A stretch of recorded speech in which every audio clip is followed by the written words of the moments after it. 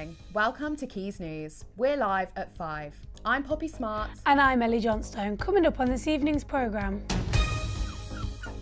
The term flockdown's been coined by many, but join us shortly to find out why I'm here with these turkeys.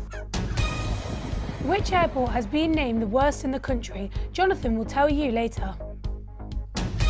And Evie will be explaining how the cost of living crisis is affecting rent prices for students.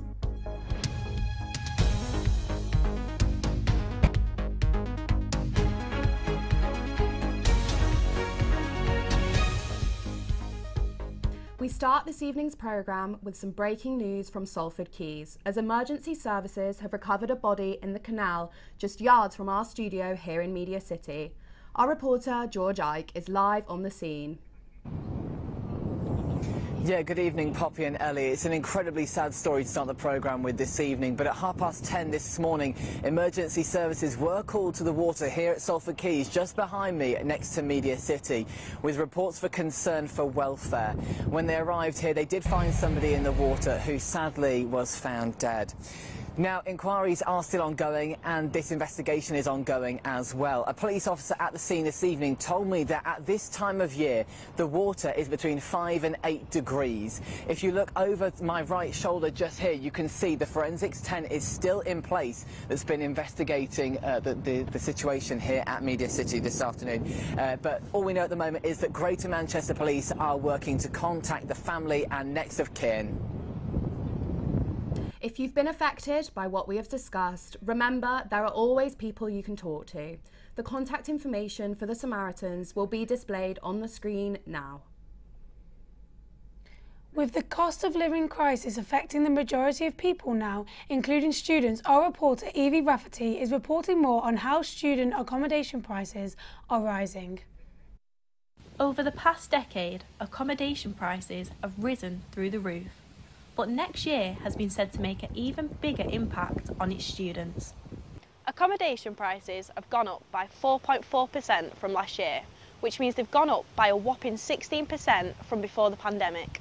Many students have longer contracts to others, which may lead to them having to pay a lump sum of more money on top of the original increase. As a student nurse, because our terms are, we have 51 week um, academic years rather than the normal like 40. We're here for like two months longer. So there's never enough money to cover everything, as well with being a student nurse. We've got to pay for transport to hospital, we've got to pay for uniforms, we've got to pay for like reoccurring things that other students don't have to pay for. Um, and the loans and stuff just aren't enough to cover rent. The maintenance loan has struggled to match the rising cost of living with just a 2.3% increase. With students barely affording their rent, families may be left with no option but to take them under their wing. I didn't have regular work on the weekends. I'd have to like get my mum, family involved to help me pay for it. It's so expensive. Tramways, campus living villages, and True all refuse to speak on this matter. With this lack of communication and ever rising prices, where will this leave our students? Evie Rafferty, Quays News, Salford. According to a Which survey, it has been revealed that Manchester Airport has been named the worst in the country. Our reporter Jonathan Kenwright has more information on this. I'm here at a very windy Manchester Airport today, but it's not just weather that needs to improve. Manchester Airport was voted this week the worst airport in the UK for customer satisfaction. In Which survey, it found that Terminal 2, just behind me here, had a 47% approval rating by passengers travelling through. Now, we're into November and the summer season is finishing, meaning that passenger numbers are going to decline sharply. But on the run up to Christmas, there is cause for concern that we're going to see a repeat of what we saw in the summer. The survey took into consideration factors such as available seating, baggage reclaim, and waiting time on your return. In contrast to the poor score received at Manchester, nearby Liverpool was at the top of the list, with an 83% approval rating by customers. In response to this survey, Manchester Airport said, We apologise to any customer if their experience was not to the standard we want to deliver. Due to the pandemic, like all airports around the world, we had to cut our costs to survive. I think the biggest question for the airport now is how are they going to turn this around for the winter break? Now, the airport has said they're going to be increasing their staffing levels, combating what we saw in the summer, the long delays and the long queues. And I think a lot of people travelling from Manchester over the Christmas holidays will be hoping for a lot less turbulent times. So, Poppy, have you ever flown from Manchester Airport before? So, yes, I flew from Manchester Airport from Terminal 2 recently, which has now been renovated with many more shops, making the wait that little bit easier.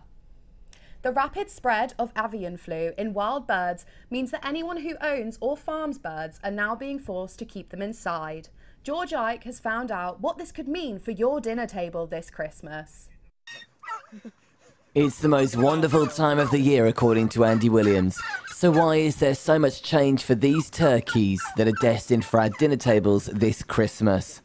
Flock down, thanks to a devastating wave of avian flu, which has wiped out almost a third of turkeys. These turkeys used to live outside, but since the start of this week, avian flu rules mean they now have to live inside. We've caught up with the farmers who've been looking after them and moving them here, including all the new labour it takes to keep them inside. This is Paul, and alongside his business partner Connor, they have 500 turkeys on their Lancashire farm, as well as sheep and other livestock. Connor says that having all of their birds in pens makes for an awful lot more work and it's significantly more expensive. Especially obviously with the where they go to the toilet where they literally stand, um, it needs cleaning out a lot more regularly because they're not running around during the day. We need to regularly keep putting shavings down, disinfecting everything. Uh, yeah, it uploads it by a, a fair amount. But there's been widespread concern there might not be enough turkey to go round this Christmas. We're certainly noticing that we're selling a lot of turkeys a lot earlier than we usually would. There's the risk of avian flu and being wiped out from it. The birds will probably all be dead by the time the results had come back. It's that fast, you're probably talking 24, 48 hours. So the, once once you've got it, that is it. But then there's also rising feed costs because of the grain that would usually come from the Ukraine. But with the shortage of turkey coming this Christmas, many are beginning to think about what they'll be putting on the table come the 25th of December. If turkey's not available this year, I might go for an alternative chicken. I normally do lamb or chicken. No idea. My daughter gets it.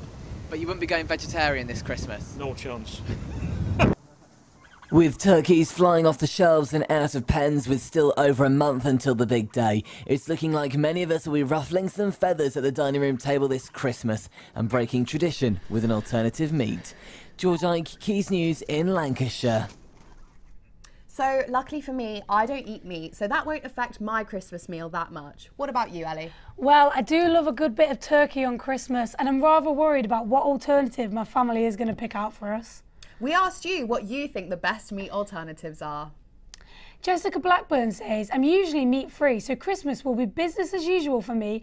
Quorn is my preferred alternative, or Linda McCartney if I've got a little extra cash. Max Hayes says Bird's Eye is great free, meat free alternative, cheap as well, especially in the cost of living crisis. Natalia Petru says, Oh no, I can't believe this. I can't have Christmas without a turkey. It's like having Christmas without a Christmas tree. It's a must. Keep telling us your opinion on Twitter at Quays News. And now, without further ado, Salford City Council have a huge variety of different support groups, including an LGBTQ plus group, which has newly been established in Irlam. Isabel went to find out more about why these groups exist. A place to feel supported, safe, motivated, or if you generally just wanted to chat. Salford City Council have a huge variety of social groups, which range from arts and crafts to more serious issues, such as keeping well and mental health support. I've been invited to join the LGBTQ group that supports those who are struggling with their identity and to talk about any related issues. I'm here to create awareness of the importance of groups like these and what it means for the community.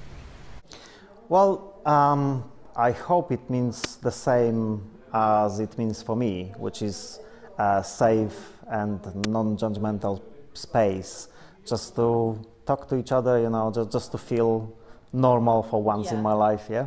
One in four people suffer with mental health. Therefore, groups like these are vital and really help with emotional support and loneliness. Was the main reason I actually started that because I can see, uh, especially after COVID um, uh, pandemic, um, isolation was massive and still going on.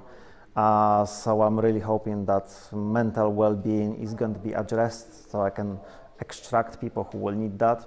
And it's important that there's some something here, what is funded, that people can come to, the younger, older generation, our trans community, our pansexual community, any part of our community can come to somewhere where they can feel like they can be themselves and find information and, and help and feel relaxed. Yeah.